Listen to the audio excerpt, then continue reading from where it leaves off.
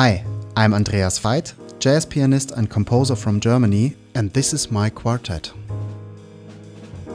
In my compositions, I want to create interesting stories which are inspiring, fun to tell, and most important, leave room for creativity.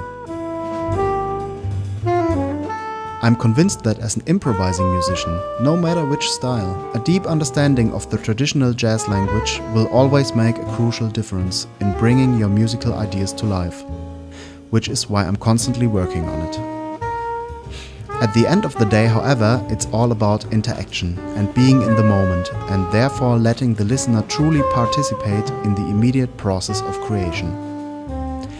I think the characteristic of modern jazz is that it can do both touch the listeners' hearts while at the same time making them dance.